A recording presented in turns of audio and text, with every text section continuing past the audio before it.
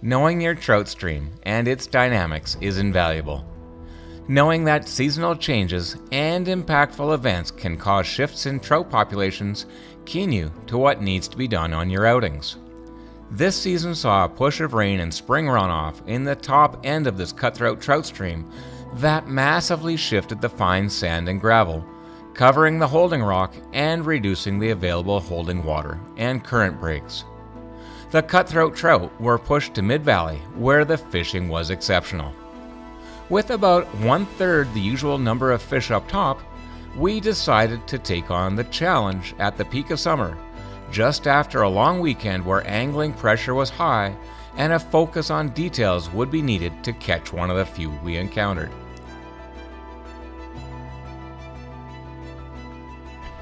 Hey guys, I've just wrapped up a really cool session. We are out here on the Tuesday after um, Canada has an August long weekend, civic holiday. First Monday of every August is a holiday weekend.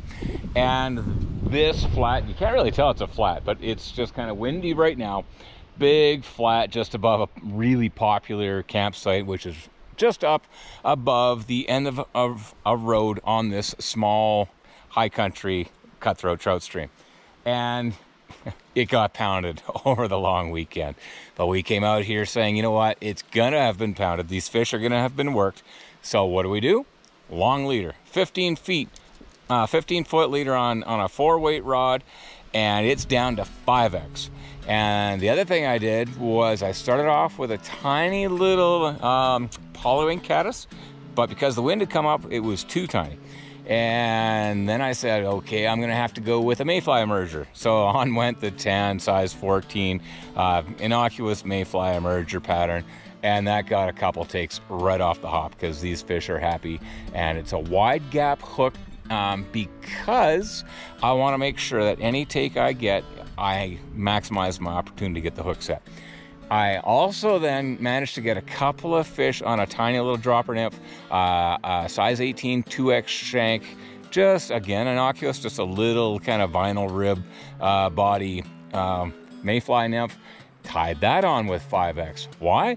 All the 5X and the size sizes of the flies is and the length of leader is because it's a flat piece of water, crystal clear, gin clear water and it got pounded over the weekend. Anytime you're fishing, follow up to masses of people. I guarantee 20, 30 people came through here over the weekend. I guarantee these fish got worked. So you have to make sure that you give yourself the best advantage um, and respect every ounce of spookiness and wariness. And I don't want anything big. Thank you very much. And we saw four fish. We got four fish. Just wait, watch, wait for rises, look for smudges lay out the line, put it on the fish. And when you do that with that kind of setup and you just respect it with gentle casts that lay out nicely, you can have your way and get these fish to do what you want them to do. And that was a lot of fun. Yeah, I see the one smudge of that guy up top. So I'm just gonna get myself going here, see if, I mean, just because I know where he was right now, doesn't mean I'm gonna see him in a minute, but should be able to see them the closer I get to them, too. Oh, there we go. All right.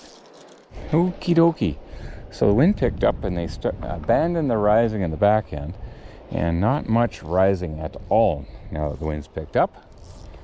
Um, so it's a it's a game of fish the flats, yeah, but how about this guy right in here?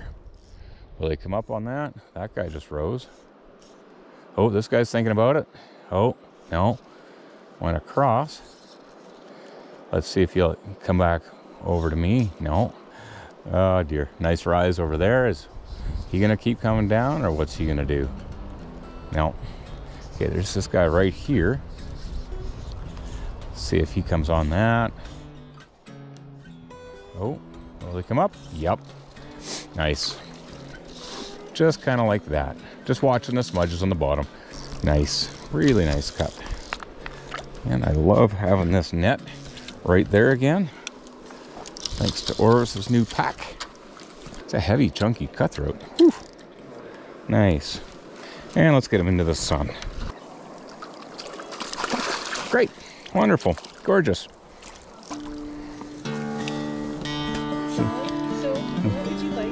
I'm just gonna pop the fly and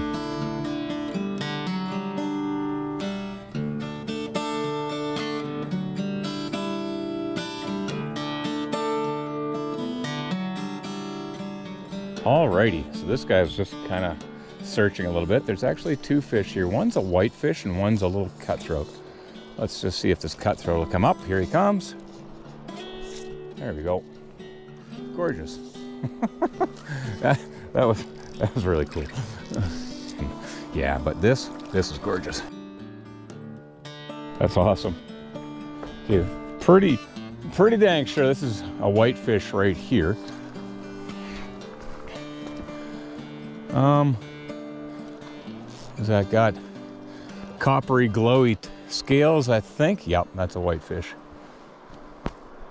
Um, that's a nice rise up there. Yeah. I think there's one out in the middle here as well. So I got to get into the shade so I can see a little bit better. Yeah, there's definitely one out in the center there.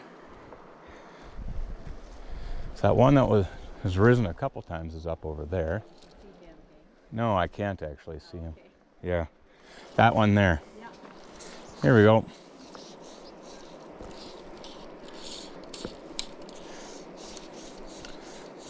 Wait a second, he's chasing the whitefish. Really? Coming down past me here. okay, let's wait for him to turn around because it's a cutthroat and this is generally what happens. Yeah, bit of a left-handed cast here. Okay, he should see that if he wants to come up. He was just rising a minute ago. He was in such a great place to feed a dry fly 30 seconds ago. But he is not looking up right now. Okay, I'm going to wait for him to do something here. Just going past my rod tip here, guys.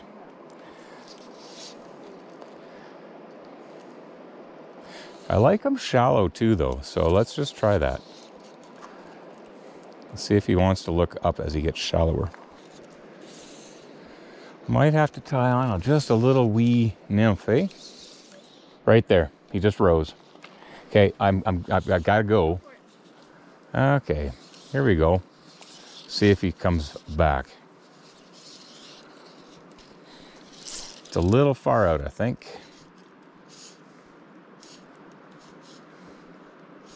There he is on the nymph. Little dropper nymph.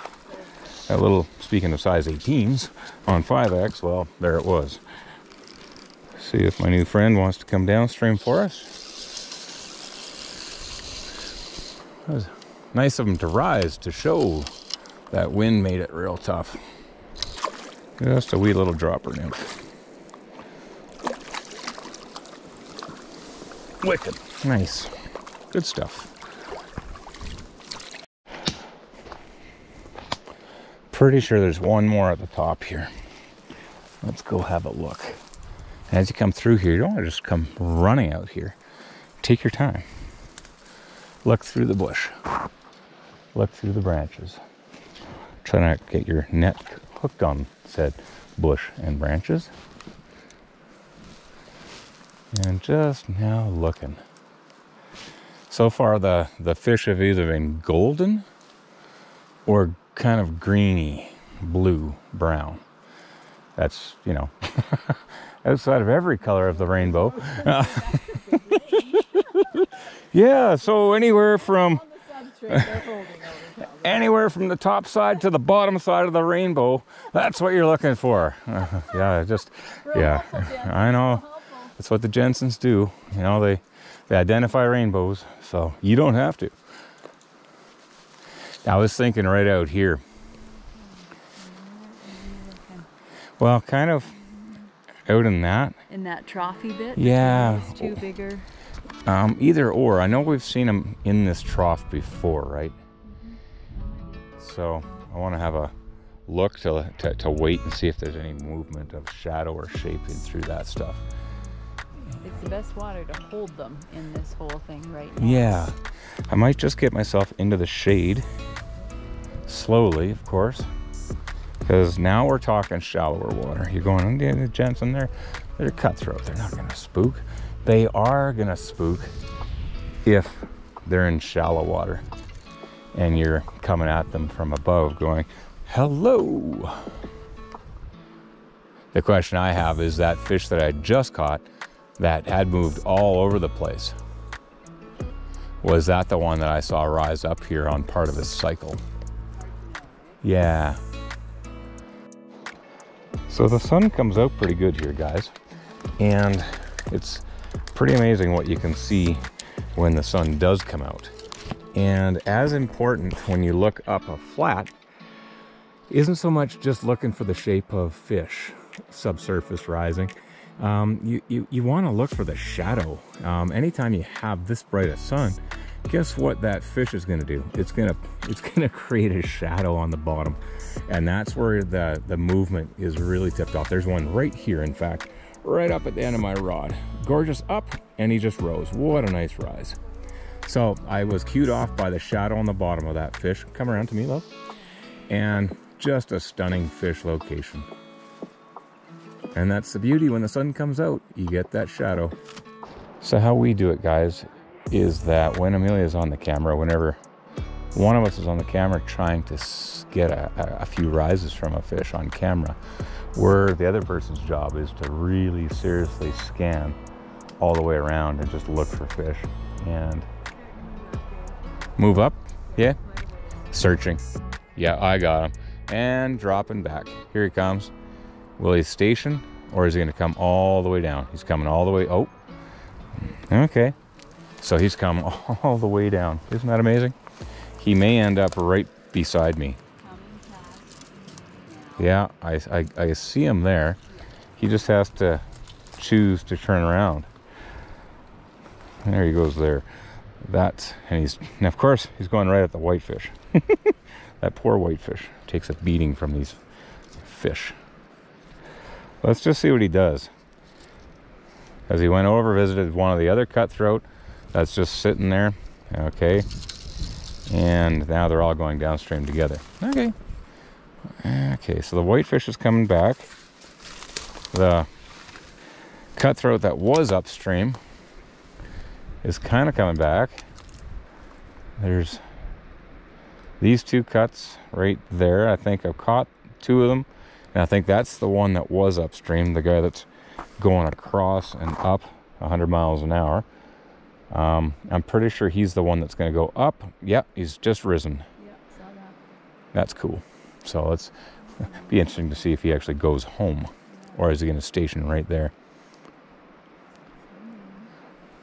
Geez, that's that's a tough one. He's moving there now and across. oh, searching flats of fish. Is he going to station right there? That would be gold. You see him? It looks like he's stationed. Yeah. Let's let's have a. I'm going to move into position. Okay. Yeah, he's there. And let's just see if we can get it going at this fish methodically because you don't want to be. Oh, gorgeous rise. Do you want me just to do a dry only on this first cast? Behind him, sorry. One more. Suddenly, suddenly there's a breeze knocking my cast back. okay, you still on him? You love? That's on him.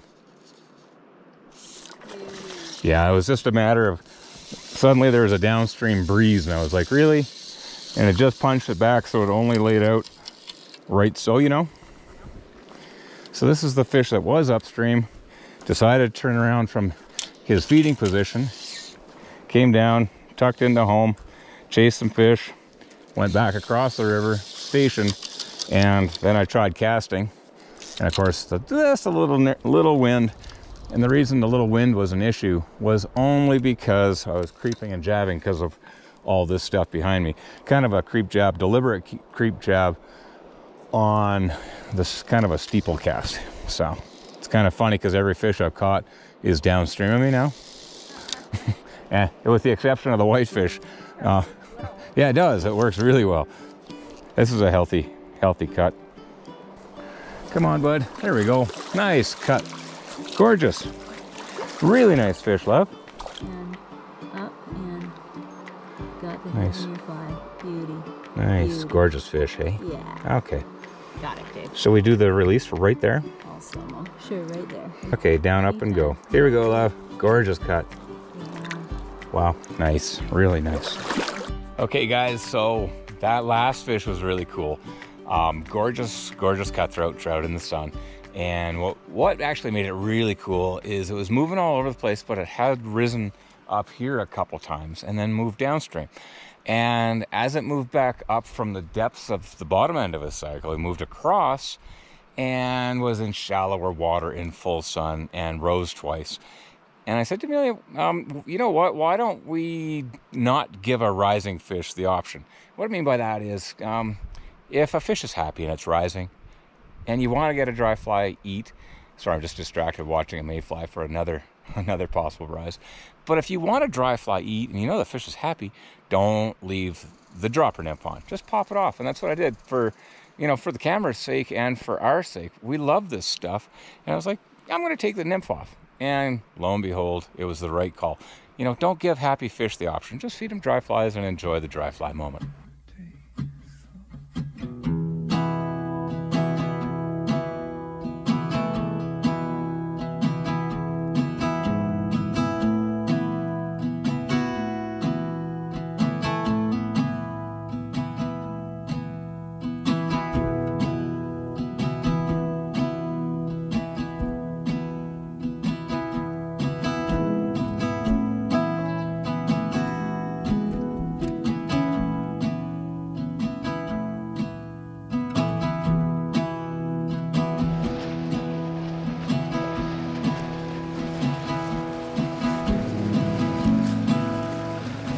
Man, these thimbleberry plants are so amazing. They get so big in here.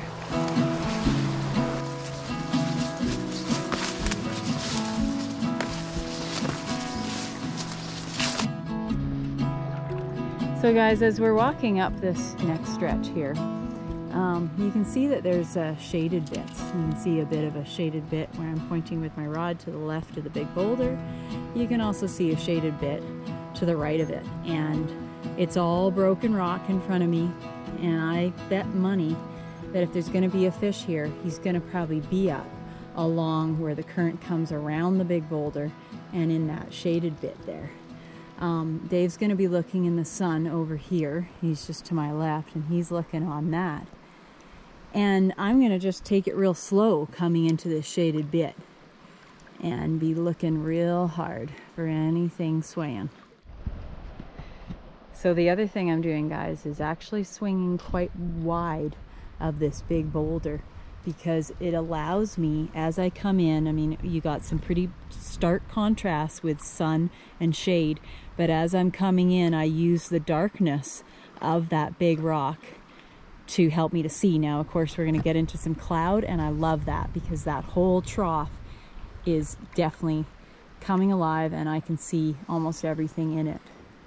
Not seeing a fish yet, but slowly move my way along these alders. No movement here? No. No, nothing's showing like it's swaying.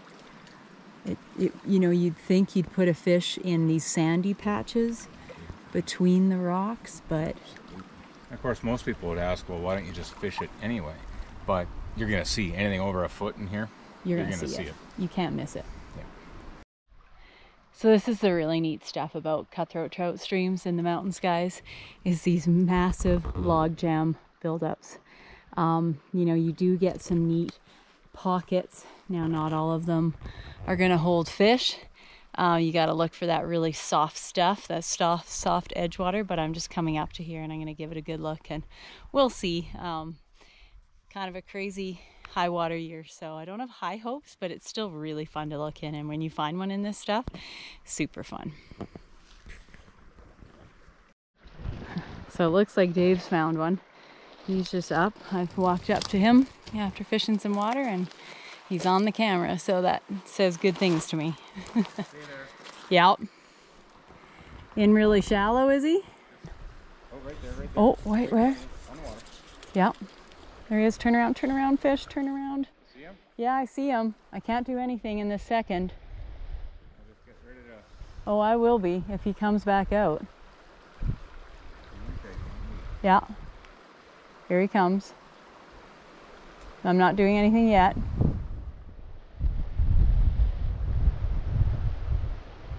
I don't think he's aware of me. Okay, here we go. Well, I had to. Otherwise, I'm. No, I got to go more over. This should do it. Coming over him right now. Got him. Yes. Nice. That was gorgeous, guys. That was sight nymphing. Saw that head come up. Saw him take, turn. That was really neat. Okay, I'm cranking it to the side to keep him out of those logs and try to bring him to the back end of the pool. Still cranking a bit. Come on, keep him out, keep him out. Yeah, there we go. Awesome. There we go. Awesome. Yeah, nice fish. Actually, way bigger than I thought it was, Dave. Way fatter. Beauty. Beautiful, hey? Look at that cut. That's stunning. Got it. Got it? Yeah. Great. Cool. Guys, I'm laughing because I thought I was looking into a glass bowl because I was probably about maybe 10 feet away from that fish. and Dave just finished showing me the clip that he got on camera of that nymph feed. Wow, just wow. The clarity of it, I mean, you can just see it all, and it's so worth waiting for. Yeah, sometimes when you can work fish, um, you know, you're at a pool or something like this, and you know that they're, if you watch them for a bit and their tendency is to want to drop out to the tail out, to the shallow end of the pool, it's really fun to kind of decide, hey, I'm going to take that fish when he does that. Because again, you get the joy of the visuals, and that was just amazing for the two of us.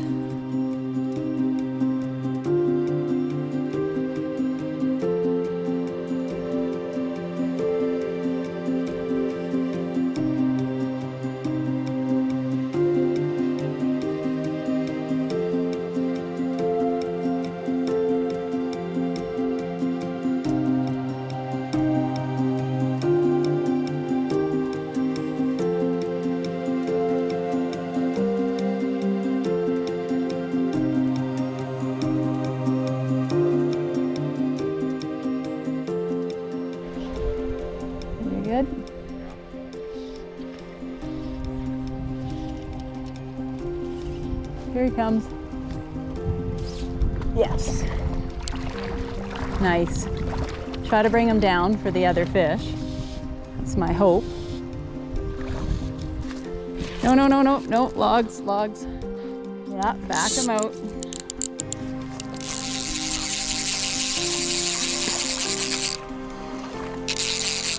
Okay, here we go. What a gorgeous cutthroat. Another pretty chunky one, Dave. That was nice. Polywing caddis does the trick. Okay guys, so I've seen where the fish is. He likes to rise pretty much right up along the main seam, right where the foam is. So I'm gonna get myself in a position to get my flies in there. He may be a late breaker? I know. I'm thinking the same. So good call. Okay, ready? Yeah. Okay, here we go.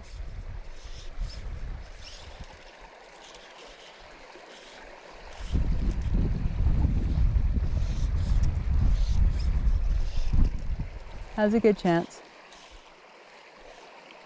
Lead him another foot. Wow, really? Yeah. It's gonna get real tight. Yeah. Has a chance. Yes, and he takes the dry. Wow. Come on, out you come, out you come. I actually had a weird gut feeling about that, you guys. Said to myself, you know, I'm gonna put on this nymph, and as we've talked about before, see if I can draw him to come up and eat the mayfly, and that's exactly what he did. How neat is that? Okay, can I get this fish out though? Come on, come on, come on. I got 5X. Come on. Come on. Oh, pop. Yep. That one got me. That was tough. That's hard to take, guys. That's a nice fish. I was trying.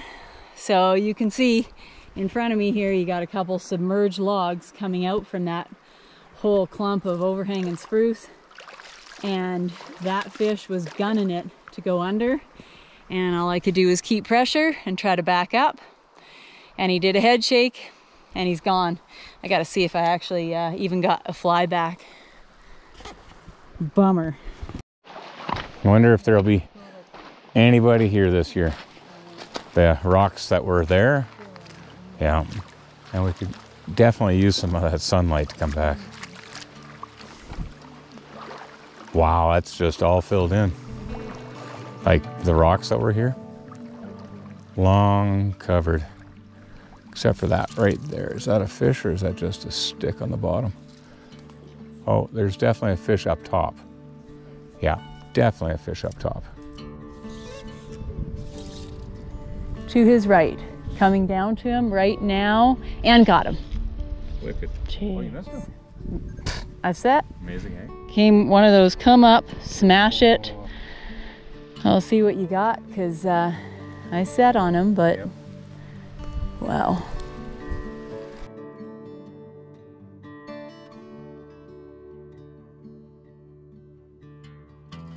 Here we go. Ready? Yeah. Yeah, after that, hang on. Here we go. Coming right down to him. Coming right down to him. Oh, another fish came for it. Wow. Jeepers. odds of that? What was the odds of that at all? Man, that threw me. A fish from upstream. Wow. Okay, guys. Talk about just a total psych out there. I'm going for this fish. You know, my flies, dry flies drifting in with my nymph. And I'm going, yeah, I'm perfectly right above him. This other fish comes screaming in from upstream. I don't even see. Wow. And I don't get anything.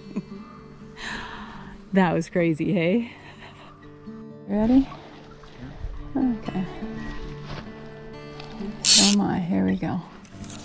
No, let's wait till he comes back this way. I don't like it way over there, do you? Yeah.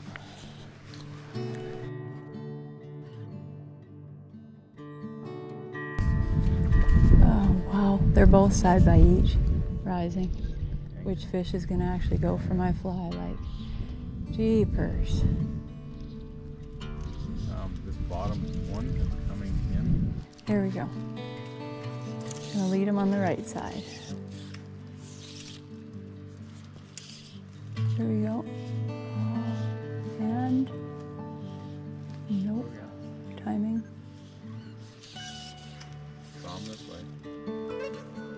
Definitely drawing him this way. Quite a ways this way. Here he comes, here he comes. And takes the dry. Unbelievable. that. Again, hey? Again. Oh, oh well. oh well. Jeez. Unbelievable. Boy, that's Bizarre. bizarre and it's been happening quite a bit, you know? It has. Unreal. You tie a dropper on. Yeah. And they come to the dry fly. And they It's just come screaming to the dry fly. Totally is, yeah. Crazy stuff, guys, but that's what's going on.